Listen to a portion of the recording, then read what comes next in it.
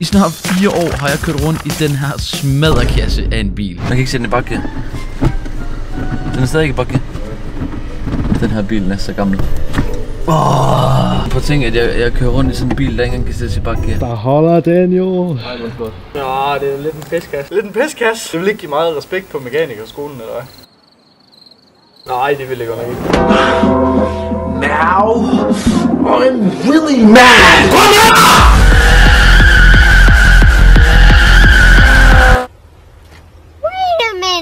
vi lige høre den nye motor, jeg har fået bilen faktisk. CV8. Det kunne ikke køre. Og den kører den 10 km i timen. Hvor kan du ikke spore damer med den her bil? Det er altså en rigtig gammel Citroën C1, som jeg har fået af min morfar. Men ved I hvad? Jeg tænkte, nu skal den eddermame have en makeover. Så jeg aftalte med mine dejlige viewers på Twitch, at hvis vi ramte 600 subs, så vil jeg male min bil pink. Så... I dag, der maler vi den Klings bil pink. Det er manden, der skal redigere. Hej bro.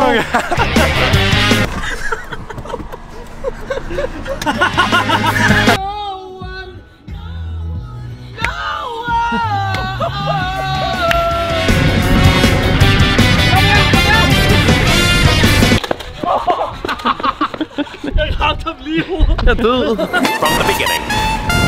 Get it, boys. I dag, der maler vi den Klings bil pink. Så hvad synes du om det her projekt? Det er det fedeste. Nu kører de jo intern krig på hinanden.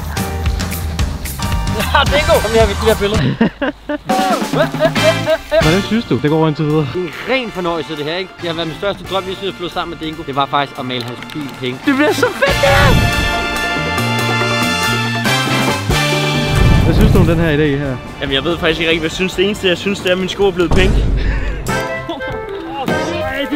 Ej, din sko, Det er god til en sko.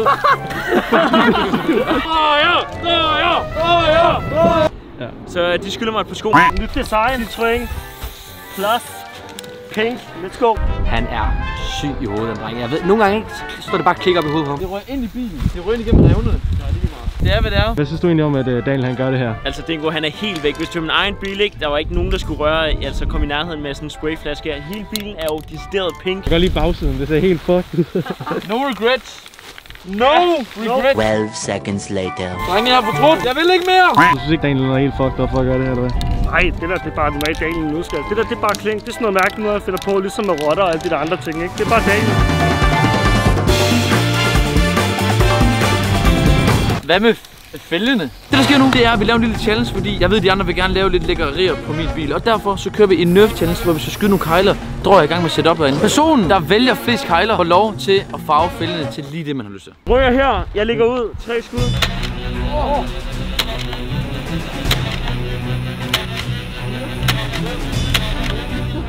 Har seks skud. Hvor mange ramte du? Så vi er i gang her, drenge og piger, ikke? Kalder mig James i byen.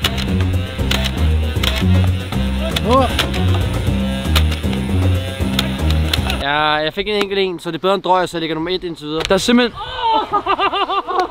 Det skal til nogle gange skyde nummer ind, men det der sker, det er altså, vi har taget nogle sten ovenpå, fordi det blæser meget, så man skal bare ramme kroppen, så tæller det. Og Peter ramte en. Så tillykke, Peter. Du fører indtil videre, Peter. Godt gået. Nu hvor de andre ikke kan finde ud af det, så må vi andre jo hellere ramme, ikke?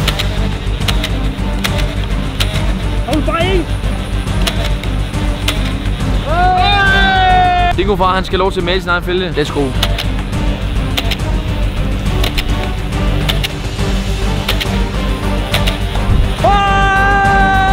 Peter i finalen. Så ses jeg om, hvem der vinder. Og nu er bedst af en. Ja. Det sagt bliver nu.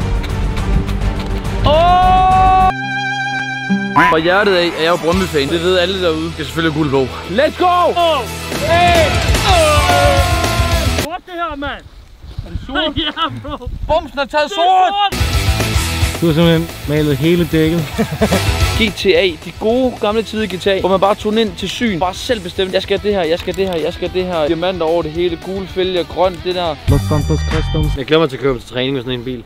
Jeg glæder mig til at køre ved siden af i min egen bil og se jer køre. Peter han skal til træning lige om lidt, og han låner altid min bil. Han tror det åbenbart, det er hans bil. Han skal hen til alle hans gutter i den her bil. Okay, vi blev simpelthen færdige med at uh, tage fælgene. De blev gule og blå, og bilen er altså blevet pink. Hvor meget tror jeg, jeg kan sælge den for? Er den steget eller faldet i værdi? Jeg tror, den er stedet. stedet. Stedværdi. I må gerne skrive det ud, hvor meget vi har købt den her bil for, som den er lige nu. En af grundene til, at vi faktisk gør det her, det er fordi, I har støttet Dingo fra rigtig meget Twitch. Og vi har ramt 600 subs, og derfor så har jeg lovet alt for mange mennesker, der for uge støtter mig allermest med, med subs og med donuts og med hele Molchausen. Så får I altså lov til at have jeres navn på bilen, som jeg lovede. Det der sker, det er en fodboldchallenge, hvor man skal tage to berøringer. Tager man en, tager man tre, er man ude. Og den sidste, der er tilbage, han vinder det hele og får lov til at male Dingos bil i 30 sekunder.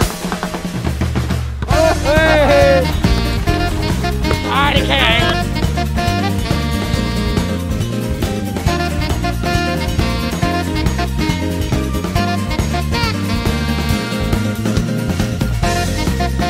Så skal jeg være ond mod Dingo. Er du klar? 3, 2, 1, go! Jeg er faktisk sød mod ham. Like. Og den subscribe, og så S hvad? Dingo, kom her! Så jeg tør ikke kigge på. 2, 1. Prøv mærke mit hjerte. Jeg frygter virkelig det værste. Det er en rigtig bro, der er like og subscribe. Det er nemlig det. Ja, husk at like og subscribe, drikker piger. Helle K! Og skud til Dingos far. Ole! Hvor er det grimt, det her. Det er så grimt. Ja. Hvordan har du det, Daniel? Jeg skal være helt ærlig. Ja. Jeg, har det, jeg har det faktisk ikke særlig godt lige nu. det jeg har lært, når man laver YouTube, hver gang man laver noget, skal man huske ind i hjernen at sige no regrets. Drenge, jeg er fortrudt. Godt arbejde, gutter. Jeg har haft så mange gode tider. Alle de gange, den ikke kunne sættes i bakgear. Alle de gange, jeg har fået skiftet mine bremseklodser. Men er der et tidspunkt, hvor jeg tror, man kan score damer, så er det altså nu. Stop the cap. Rolling up a pint of the golden. The shawty said she know me, she don't know me. Limousine riding, pulled up in a Corvette, that's the perfect with the dying. She say she love me, but I know the bitch rolling up a Folk nedstiger mig på en ret ubehagelig måde. Jeg kan ikke lide at køre langsomt forbi folk. Åh, mor.